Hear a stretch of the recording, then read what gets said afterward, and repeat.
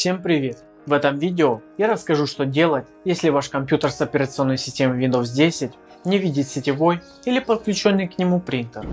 Друзья, если вам нужно восстановить удаленные данные, просмотреть или восстановить очищенную историю интернет-браузера, то в этом вам помогут программы компании Hetman Software. Перейдите на сайт по ссылке из описания, бесплатно скачайте и установите нужную программу. Запустите анализ диска. Утилиты отобразят доступные для восстановления данные, и вы сможете просмотреть и вернуть их. На нашем канале и в блоге вы найдете решение любого вопроса, начиная от установки системы, ее настройки и исправления возникающих проблем и ошибок, и заканчивая оптимизацией работы мобильных устройств. Наши специалисты с радостью ответят на ваши вопросы в комментариях к роликам или статьям. Зачастую, после обновления Windows 10, пользователи сталкиваются с тем, что система перестает видеть принтер в основном причины данной проблемы могут быть из-за сбоя системы или драйверов. В этом видео мы попытаемся разобрать все возможные причины, почему компьютер с операционной системой Windows 10 не видит принтер. Итак, начнем. Причин у описываемой проблемы существует множество. Источником могут быть драйвера, различная битность основной и целевой систем, или же некоторые сетевые компоненты отключены в Windows 10 по умолчанию. Для начала все же стоит проверить исправность USB кабеля и порта. Возможно вы случайно дернули шнур и он не плотно сидит в разъеме или даже пришел в негодность. Убедитесь подключен ли провод к самому устройству и подключен ли принтер к ПК. Попробуйте вставить шнур в другой порт компьютера. Также следует осмотреть и сам принтер, включен ли он, есть ли в нем краска и так далее. Если произошло что-нибудь из этого, то исправьте неполадки и проверьте подключение устройства к компьютеру снова. Если ничего не изменилось, то переходим к устранению неполадок самой операционной системы. Первым, чем стоит воспользоваться для устранения проблем, это системная утилита устранения неполадок. Данная утилита выполнит автоматический поиск неисправностей и попытается устранить проблему. Для запуска откройте параметры обновление безопасность, устранение неполадок.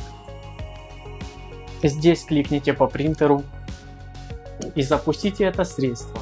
Дождитесь пока программа выполнит поиск и осуществите исправление неполадки. В процессе вам возможно нужно будет указать неработоспособное устройство или указать что его вовсе нет в списке. После поиска ошибок утилита предоставит вам отчет и варианты решения вашей проблемы. Стандартные средства устранения неполадок в большинстве случаев помогают решить основные проблемы и некоторые сбои. Еще можно поступить иначе и попытаться добавить принтер самостоятельно. Обычно система автоматически подгружает необходимые компоненты для устройства из официального сайта. Чтобы добавить принтер, откройте параметры устройства, принтеры и сканер. Здесь нажмите добавить принтер или сканер. Обычно система сама находит устройство, но если этого не произошло, нажмите необходимый принтер отсутствует в списке. Далее отметьте общий принтер по имени или другой подходящий для вас вариант. Введите имя устройства и щелкните далее. Если вы используете сетевой принтер, то выберите здесь либо по IP, либо последний пункт. В случае сетевого принтера вам нужно будет указать его IP адрес, IP адрес компьютера, к которому подключен принтер. Если после этих манипуляций принтер так и не подключился, попробуйте установить драйвера вручную. Зайдите на официальный сайт производителя вашего принтера и найдите в разделе поддержка доступные драйвера для вашего принтера. Хорошо, если они для Windows 10. Если же таковые отсутствуют, можно попробовать для Windows 8 или даже 7. Скачать их себе на компьютер. Прежде чем запускать установку, рекомендую зайти в панель управления, устройства и принтеры. И если там уже имеется ваш принтер, то есть он определился, но не работает, кликнуть по нему правой кнопкой мыши и удалить из системы и уже после этого запускать установщик драйвера. Иной раз драйвер имеется, но ни в какую не хочет устанавливаться системой автоматически. В таком случае рекомендуется выполнить следующее действие. Посмотреть, нет ли в диспетчере устройств нового USB оборудования без драйвера. Такие обычно помечены желтым восклицательным знаком. Для этого кликните правой кнопкой мыши по меню «Пуск» и выберите здесь «Диспетчер устройств». Проверьте нет ли здесь таких USB устройств, распакуйте пакет драйверов каталог с известным именем, кликните правой кнопкой мыши по устройству USB, помеченному восклицательным знаком и обновите драйвер. При выборе источника укажите поиск на этом ПК. В ответ на запрос мастера укажите директорию с распакованным архивом или же попробуйте выполнить поиск автоматически. Иногда пользователи просто не умеют искать драйвера. Для поиска просто перейдите на сайт производителя и в соответствующем разделе найдите драйвера для вашей модели принтера. Через некоторое время отобразятся доступные результаты. Велика вероятность отыскать как раз то, что нужно. Скачайте и установите их. Или же попробуйте осуществить поиск по ID устройству для этого кликните по нужному устройству в диспетчере и выберите свойства. Откройте вкладку «Сведения» и здесь выберите ID оборудования. Выполните поиск по этому номеру в интернете. В случае с сетевым принтером довольно неочевидным источником сбоя будет несоответствие битности драйверу. Если расширенный сетевой принтер используется на компьютерах с Windows разной разрядности, Например, основной компьютер работает под управлением десятки 64-битной, а другой ПК семеркой или десяткой 32 бит. Решением этой проблемы будет установка новой биосистемы драйверов обоих разрядностей. Если у вас возникли проблемы с сетевым принтером, включите распознавание сетевого принтера.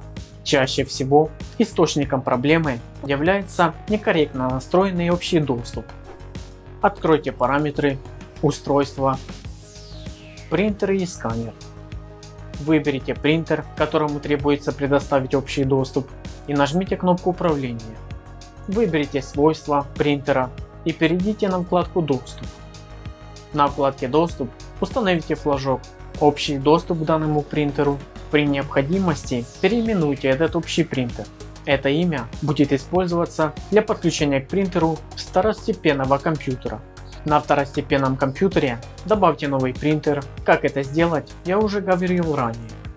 Если настройка общего доступа система корректные, но проблемы с распознаванием сетевого принтера все еще наблюдаются, причина может заключаться в настройках брандмауэра. Дело в том, что Windows 10 этот элемент безопасности работает достаточно жестко и кроме усиленной безопасности приводит также и к негативным последствиям. Как настроить или отключить брандмауэр Windows 10 у нас на канале есть отдельное видео, смотрите по ссылке в описании.